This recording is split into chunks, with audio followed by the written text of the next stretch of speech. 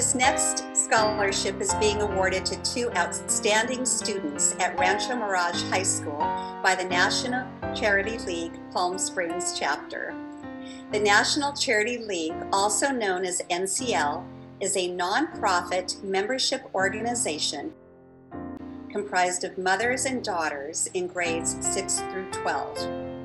There are three pillars that comprise the National Charity League community service, leadership development, and cultural experience. In NCL, mothers and daughters work together to serve their community, where they volunteer in many local charities and organizations to make a positive difference. Collectively, NCL chapters across the nation donate approximately 1.4 million volunteer hours each year. When selecting recipients for the NCL scholarship, we were looking for young women who embodied the spirit of NCL without ever being a part of the organization.